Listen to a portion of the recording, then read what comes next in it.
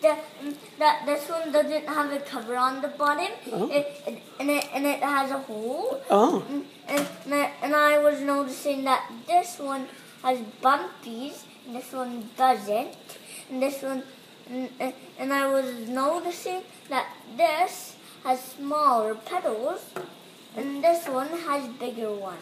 Wow, you were noticing a lot. I was looking at the difference in size between the two. Like, I wonder how many of these little pine cones it would take to make up a pine cone that's as big as that one. What do you think?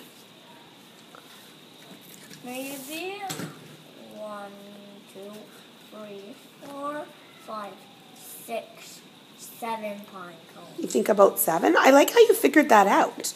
You were kind of looking at about the right size of the pine cone. So much wider around. I do wonder about the bottom though. That was a neat observation that it doesn't have the same bumpy part like this. I, I wonder if that's always true with the big one. Did you say your brother also has a big one? Yes. Uh, Is it true on his big one as well? Have you looked? Um, yes. And did it also not have that cover one?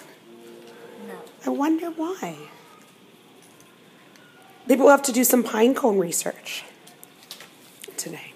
But Miss Dunsiger, Yes? is that okay when we go in the forest? Is that okay if I, if I like bring a little tank out um to collect pine cones and then and then put them in and then and then put them at the coloring table? I think that's a great idea. Would you like to do that?